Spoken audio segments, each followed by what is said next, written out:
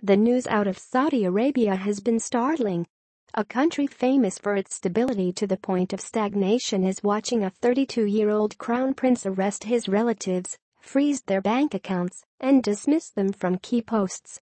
But on closer examination, it should not be so surprising.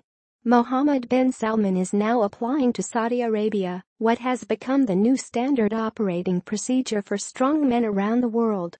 The formula was honed by Vladimir Putin after he came to power in Russia.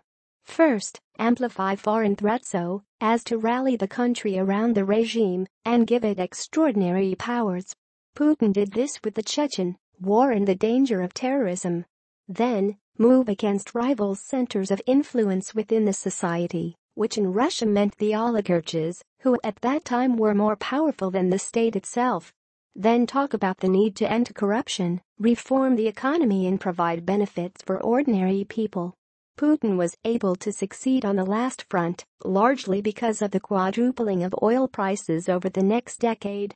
Finally, control the media through formal and informal means, Russia has gone from having a thriving free media in 2000 to a level of state control that is effectively similar to the Soviet Union.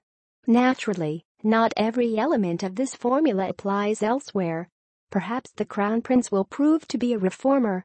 But the formula for political success that he's following is similar to what's been applied in countries as disparate as China, Turkey and the Philippines.